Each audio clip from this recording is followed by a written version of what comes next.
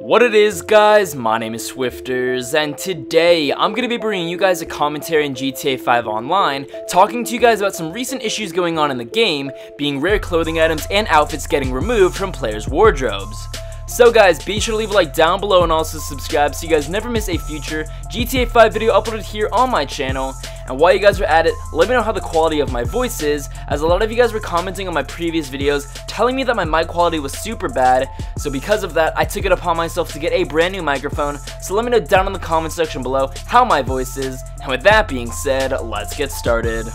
Alright guys, like I said in today's video, I'm going to be talking to you guys about some rare clothing items and outfits getting removed from GTA 5 Online. Now as most of you know, over the past couple of weeks, there have been multiple glitches that allowed players to get the police outfit, the trash master outfit, the duffel bag, and a couple of other items in the free roam sessions of GTA 5 Online. Now these items are not normally accessible in the free roam session of GTA 5 Online as they are only exclusive to certain heist missions and jobs in the game. However, like I said, there have been some glitches that would allow players to get the Trash Master outfit, the police outfit, the duffel bag, and a couple of other items in the GTA 5 online free roam and wear them at a later time and save them as an outfit. Now doing this would make their characters look extremely unique and a lot of people would wonder how they got these outfits onto their characters. Now because these items are not supposed to be in GTA 5 Online outside of the exclusive missions in the game, Rockstar has took it upon themselves over the past couple of days to go about removing these items from GTA 5 Online.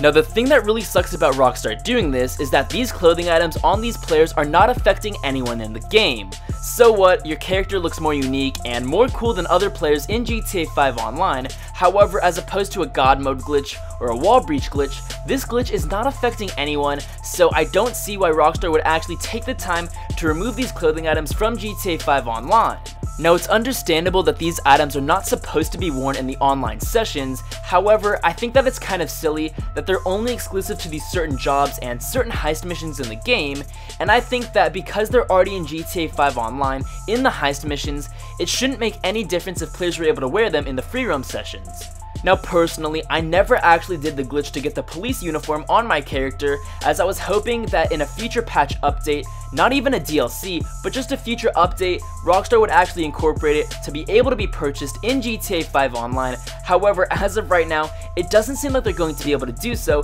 because they've taken upon themselves to remove these items from players' inventory in the game. Now overall, I think that it's a little ridiculous that Rockstar is spending time and effort to go about removing these rare items and outfits from players' inventories in GTA 5 Online as they are already in the game. Yes, it's understandable that Rockstar would like to keep these items exclusive to specific missions, however, like I said earlier, these glitches that allow you guys to get these rare items and outfits are not affecting anyone in the game. Now with that being said, I definitely think that Rockstar should devote more time and energy to patching more game-breaking glitches as opposed to these glitches that allow players to make their character look very unique by acquiring rare clothing items. But guys, that's my opinion on it. Let me know your thoughts about this topic down in the comment section below as I'm extremely curious as to what you all think.